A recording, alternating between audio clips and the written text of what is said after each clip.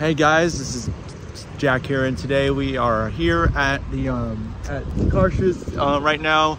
Um, I did, I was um, minding my own business at the um, neighborhood, and I just saw some tail cloud going towards the storm. And right now, I I did not get a picture of it, unfortunately. But um, as you can see here, um, we got some, we got a lot of activity back here, and it's raining.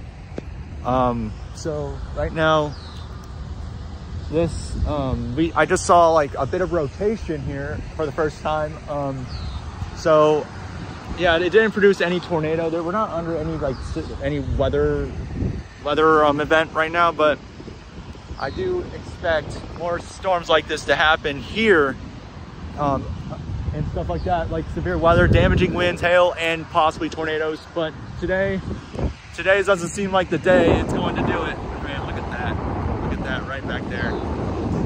And it's raining. It's um the wind's picking up right now. Um so yeah, this is this is something uh I would love to storm chase like storms like this in the future. Um yeah, I did did see a tail cloud cloud at one point, but then it just I think I'm on. I think it's on uh, on me right now.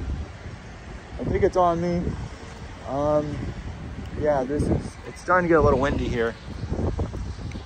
All right, all right.